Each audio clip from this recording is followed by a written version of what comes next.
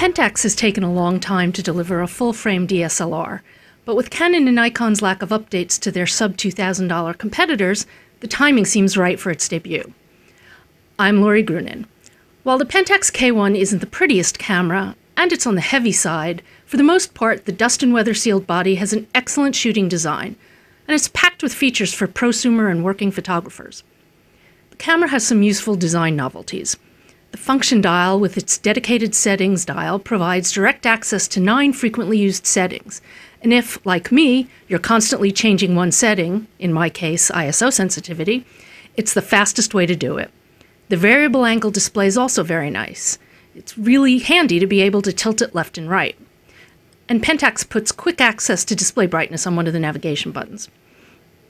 Though the camera tests competitively fast, I experienced some problems with the autofocus locking, and its shake reduction just doesn't seem to be as effective as other systems. But as long as you change the defaults, the photo quality is excellent, with accurate color rendering and broad dynamic range, with lots of latitude in the shadows.